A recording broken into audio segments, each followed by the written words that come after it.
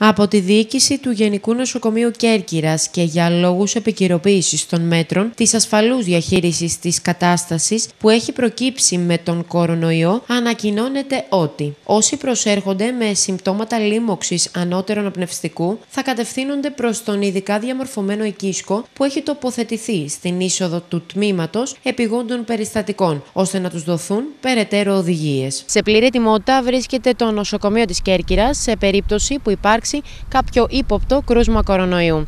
Έξω από την είσοδο του τμήματος επιγόντων περιστατικών έχει τοποθετηθεί ένας ειδικά διαμορφωμένος οικίσκος, όπου εκεί μεταφέρονται όσοι έρχονται με σύμπτωματα γρήπης, είτε είναι πυρετός ή ακόμη και ένας απλός βήχας.